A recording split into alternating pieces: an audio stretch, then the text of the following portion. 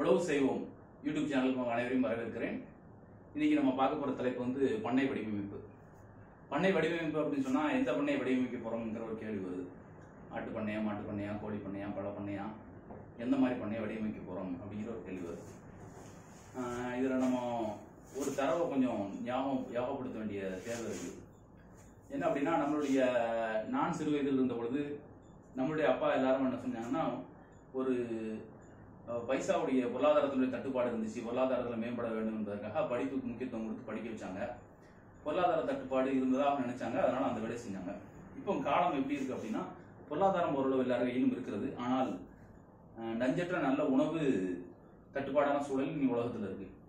இப்போ நஞ்சற்ற தட்டுப்பாடான உணவு இருக்கிற சூழலில் நம்ம வாழ்க்கையை எப்படி வடிவமைத்துக் கொள்ள வேண்டும் என்றால் பொதுவாகவே நம்ம என்ன சொல்லுவோம் அப்படின்னா செட்டில் ஆகுறது அப்படின்னா ஒரு ஒரு நல்ல வேலை படிச்சுட்டு படிச்சு முடிச்சோடனே அதுக்கடுத்தால ஒரு வாகனம் ஏதோ வாகனம் வாங்கிட்டார் ஒரு வீடு வாங்கிட்டார் ஒரு கல்யாணம் முடிச்சிட்டாரு ஓகே செட்டில் ஆயிட்டார் அப்படிமோ இப்போ காலத்தின் சூழல் எப்படி இருக்கு அப்படின்னா நீங்கள் நல்ல உணவு உட்கொள்ள வேண்டும் என்றால் நமக்கான ஒரு உணவு காடு இருக்க வேண்டும். அந்த உணவு காடு நமக்கு தேவையான உணவை தர வேண்டும். அப்படியாக இருந்தால்தான் நீ வருங்காலங்களில் ஒரு நமக்கு நஞ்சற்ற உணவை நம்ம உண்டு ஆரோக்கியமான வாழ்வு வாழ முடியும். அப்போ அதன் அடிப்படையில் இப்போ நம்ம பண்ணைன்னு சொல்றது வந்து ஒரு ஒருங்கிணைந்த பண்ணையமாக நம்ம பண்ணுறோம் இந்த ஒருங்கிணைந்த பண்ணையத்தில் நம்ம என்ன பண்ணோம்னா நம்ம அதிகமாக சாப்பிடக்கூடிய நெல் விளைவிக்கிறோம் சிறுதானியம் மறந்து போன சிறுதானியம் விளைவிக்கிறோம் நமக்கு தேவையான கீரை காய்கறிகள் பழமரங்கள் அதுபோக நமக்கு வீடுக்கு தேவையான மரங்கள். அப்படின்னா தடிக்கான மரங்கள். நம்ம ஈட்டி தேக்கு குமிழ் தேக்கு அந்த மாதிரி மரங்களும் நம்ம பயிர் செய்ய வேண்டிய தேவை இருக்குது. இது இல்லாமல் நம்ம ஊர் மரங்களாக இருக்கக்கூடிய மலைதர் மரங்களாக இருக்கக்கூடிய ஆள் அரசு அத்தி கள்ளத்தி வேம்பு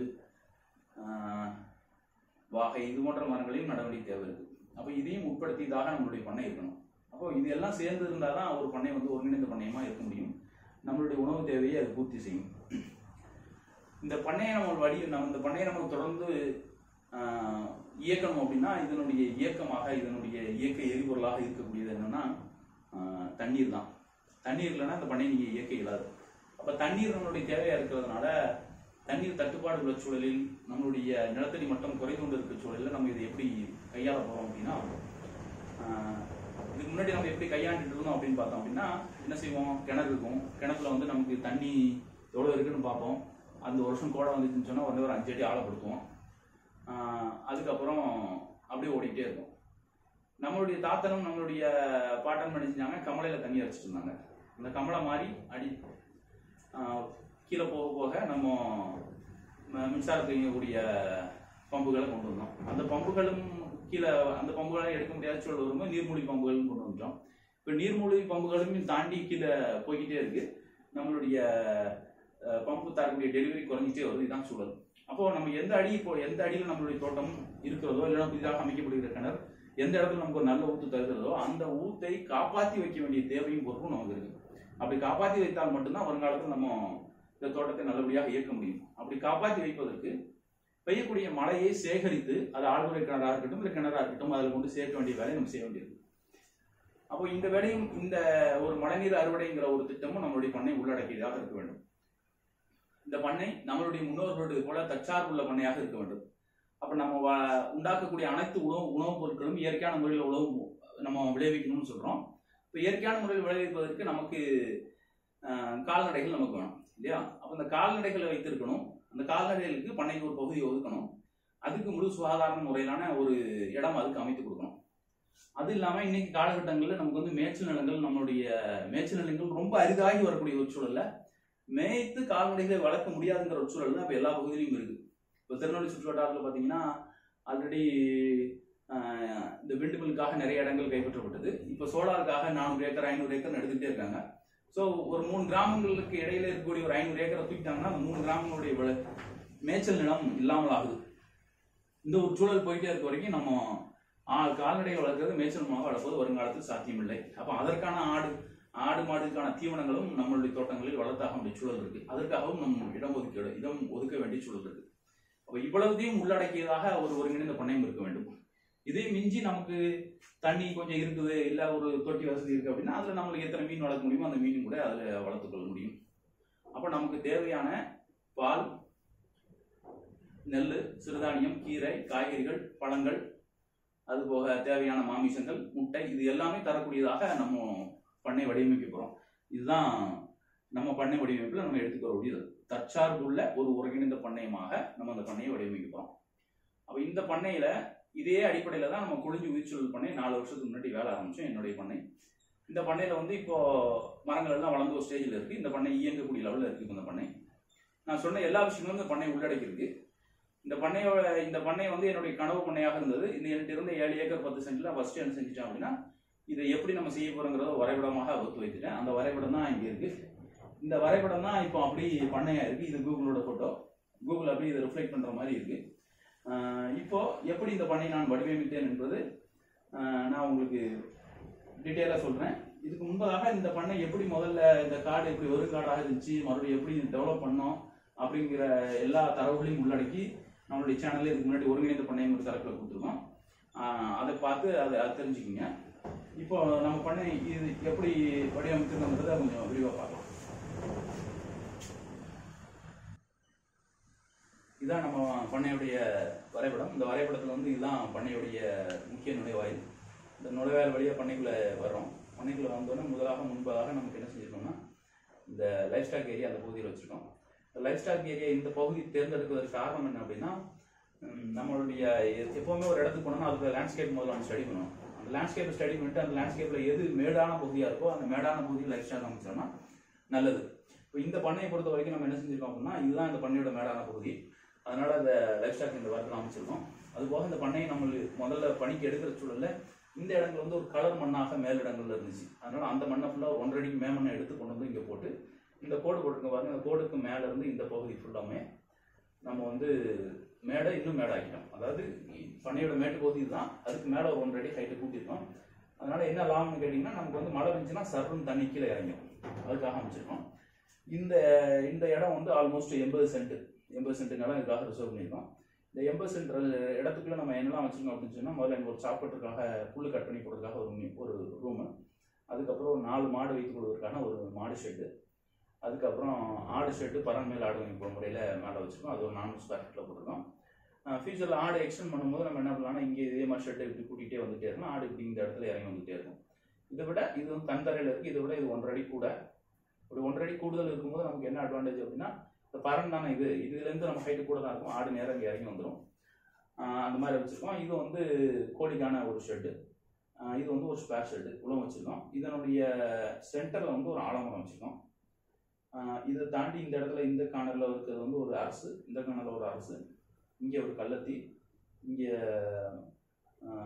பூவரசு. இதே போல் அதிகமாக நல்ல ஆக்சிஜன் தரக்கூடிய மரங்களாக சுற்றி வச்சுருக்கோம் இங்கே வந்து பண்ணை பொறுப்பாளர் இருப்பதற்காக இங்கே ஒரு அறை வச்சுருக்கிறோம் இப்போ இந்த செட்டப் இருக்கிறதுக்கு வந்து காரணம் என்ன அப்படின்னா இவ்வளோ மரங்கள் சுற்றி இருக்கும்போது நமக்கு வந்து ஆடு மாடுகளுக்கு வந்து ஒரு இயற்கையிலே ஒரு நல்ல ஒரு சூழல் இருக்கும். நல்ல அதுக்கு ஆக்சிஜன் கிடைக்கும். இதனுடைய சாணமற்றதை வெளியே எடுத்துட்டு போகிறதுக்காக இந்த பக்கம் ஒரு டோர் கொடுத்துருக்கோம். இந்த சின்ன இது வந்து வாட்டர் டேங்க் மேலே வந்து ஒரு இருபது அடி ஹைட்டில் வச்சுருக்கோம் வாட்டர் டேங்க் இது இது வந்து தண்ணி தேவையை பூர்த்தி செய்யுது. இவ்வளோ தான் அந்த லைஃப் ஸ்டாக்ல உள்ளது. இந்த ஃபென்ஸ் நம்ம காட்டியிருக்க இந்த ஃபென்ஸ் வந்து ஒம்பது அடி ஃபென்ஸ் பண்ணியிருக்கோம். இது அஞ்சு அடி ஸ்டீல் ஃபென்ஸும் நாலு அடி நைலான் ஃபென்ஸும் வச்சுருக்கோம். அப்போ தான் அந்த கோழிகள் பறந்து வெளியே போகாது. அதுக்காக அந்த மாதிரி வச்சுருக்கோம். இவ்வளவும் சேர்த்து தான் நம்மளுடைய ஆடு மாடு இருப்பிடமாக இருக்குது நம்ம ஆடு மாடு வெளியே மேய்ச்சல் போச்சுன்னா எப்படி இந்த நம்ம வெளியே வந்துடும் மற்ற நம்மளுடைய இடங்களை நம்மளுடைய பயிர்களை இந்த விதத்திலும் டிஸ்டர்ப் பண்ணாது.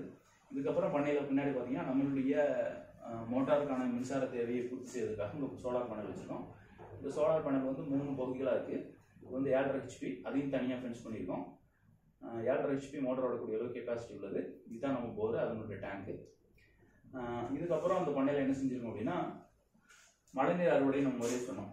அந்த மழைநீர் அறுவடை வந்து எப்படி செஞ்சுருக்கோம் அப்படின்னா ஒவ்வொரு வயலும் ஒவ்வொரு இது அரை ஏக்கர் ஒரு வயல் பிரிச்சிருக்கோம். இந்த ஒவ்வொரு வயலும் உள்ள இந்த வரப்பு இருக்கு பாருங்க இந்த வரப்பு வந்து மூணு அடி அகலத்துக்கும் மூணு அடி உயரத்துக்கும் வச்சுருக்கோம்.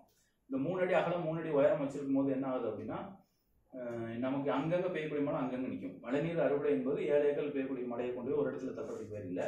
அந்தந்த இடங்களில் உள்ள நீர் அந்தந்த இடங்களில் உள்ள ம- மண்ணு குடிக்கும் போது தான் அந்த இடம் செழிப்பாகுது.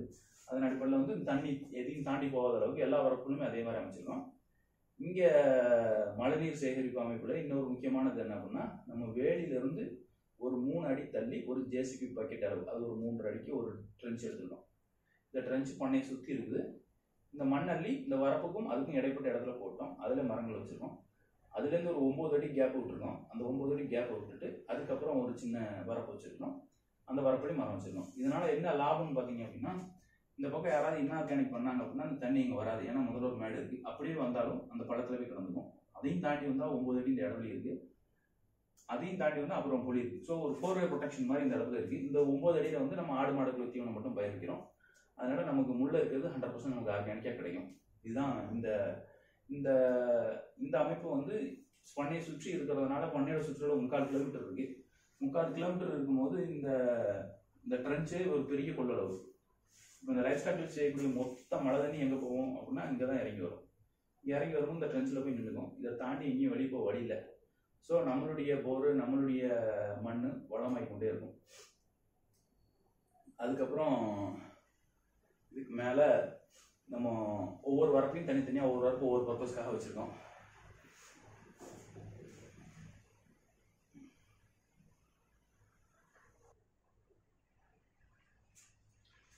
இப்போ பண்ணையோட அடுத்த பகுதி பார்த்தீங்க அப்படின்னா நம்ம அரை அரை ஏக்கரா வச்சிருக்கோம் முன்னாடியே சொன்னோம். இந்த அரை ஏக்கர் வந்து பழமரங்கள் வச்சிருக்கோம். இந்த அரை ஏக்கர் பழமரங்கள் வச்சிருக்கோம். பழமரம் அப்படின்னு சொன்னால் நமக்கு நம்ம கால சூழலுக்கு ஏற்ற மாதிரி உள்ள மா கொய்யா எலுமிச்சை அதுக்கப்புறம் சப்போட்டா அதுக்கப்புறம் மாதுளை இதான் வச்சுருக்கோம். இது ஒரு எல்லாத்துலேயும் ஒரு இருபது இருபது மரம் தென்னை இது இல்லாமல் தென்னை வச்சுருக்கோம். அவ்வளோதான் இப்போ இந்த மரங்கள் இது இது ஃபுல்லாமே நமக்கான பல மரங்களாக வச்சுட்டோம். அப்புறம் இதுலேருந்து ஆரம்பிச்சு இந்த ஏரியா ஃபுல்லாமே நம்ம வந்து டிம்பர்வரி ட்ரீஸாக வச்சுருக்கோம். டிம்பர்வரி ட்ரீஸில் என்னெல்லாம் இருக்குன்னு பார்த்தீங்கன்னா சந்தனம் செம்மரம் ஈட்டி சிசு ஈட்டி அதுக்கப்புறம் தேக்கு அதுக்கப்புறம் மொஹாக்கனி குமிழ் தேக்கு அதுக்கப்புறம் இது உள்ளே நமக்கு வந்து கரை இந்த கரை உரங்கள் வந்து வேம்பு வாகை வேங்கை இருக்குது மருத மரம் இருக்குது இவ்வளோ மரங்களும் மா- மாற்றி மாற்றி நம்ம வச்சுருக்கோம். எல்லா மரங்களையும் ஒரு ஒரு இருபதுலேருந்து நூறு மரங்கள் இருக்கிற மாதிரி வச்சுருக்கோம். அப்புறம் இந்த டிம்பர்வடி ட்ரீஸ்க்கு இடையில ஊடு பயிராக நம்ம இந்த ஸ்கொயர் ஸ்கொயராக காமிச்சிருக்கோம் ரெக்டாங்கிளாக காமிச்சிருக்கோமே இது எல்லாமே என்ன அப்படின்னா உள்ள மேட்டுப்பாத்தி அமைச்சு அதில் வந்து தெளிப்பு நீர் பாசன முறை கொடுத்துருக்கோம். இந்த தெளிப்பு நீர் பாசன முறையில் வந்து நம்ம கீரைகள் காய்கறிகள் போயிருக்கிறோம் இந்த இந்த இதில் வந்து இப்போ வாழை நடுவதற்கான வேலை நடந்துகிட்ருக்கு. இருக்கு அதுக்கப்புறம் இதுக்குள்ளே வந்து கோஃபர் போட்டிருக்கோம். முதல்ல கோஃபருக்காக இது ரிசர்வ் பண்ணி பண்ணியிருக்கோம் கோஃபர். இப்போ இதை அடித்தாச்சு இப்போ கோஃபர் இந்த ஊடுபேராக இருக்கிறத ஊடுவேராக பண்ணிட்டோம். அதனால் இந்த ஏரியா வரும் காலத்தில் தானியங்களுக்காக பயன்படுத்தலாம் தானியங்களுக்காக ஒரு மூணு சிறு தானியங்களுக்காக ஒரு மூணு வயலும் நெல் வயலாக ஒரு வயலும் பயன்படுத்திக்கலாம். இவ்வளோதான் இந்த ஏரியாவில் உள்ளது. இப்போ இதில் ஒரு மிக முக்கியமான விஷயம் என்ன அப்படின்னா இப்போ இந்த இடத்துல நம்ம மேட்டுப்பாத்தி அமைச்சிட்டோம். அதுக்கப்புறம் தெளிப்பு நீர் பாசனம் கொடுத்தோம். இதுக்கப்புறம் வாழ்க்கையில் இந்த ஏரியாக்குள்ளே டிராக்டர் வராது. இப்போ இங்கே வாழ்க்கை வா வாழை பயிர் வச்சிருக்கோம். இந்த வாழைக்கான வேலை நடந்துகிட்ருக்கு இது வாழை முடிஞ்சு முழுமையாக வாழை பயிர் வச்ச உடனே இங்கேயும் டிராக்டர் இறங்காது. ஆல்ரெடி இங்கே கோஃபர் வச்சிட்டோம். இது நிரந்தர வேலைமாக உட்படுத்திட்டோம் இங்கேயும் வராது டிராக்டர் இங்கேயும் இப்போ கோயஃபஸ் டுவெண்ட்டி நைன் மாட்டு தீவனுக்கான ஊடுபெருக்கு வேலை செஞ்சு முடிச்சு இப்போ விதை போட்டாச்சு. ஸோ இங்கேயும் டிராக்டர் இனி இறங்காது. அப்போ நம்ம செய்ய வேண்டிய வேலை என்னென்னா இந்த மெல்லட்ஸ் இருக்க ஏரியாவும் பேடி ஃபீல்டில் மட்டும்தான் டிராக்டர் ஃபியூச்சர் இறங்க போகுது. வேற எங்கேயுமே. இதுலேயும் இங்கே ஊடு பேர் ஏற்றணும்னா நம்ம டிராக்டர் விட மாட்டோம்.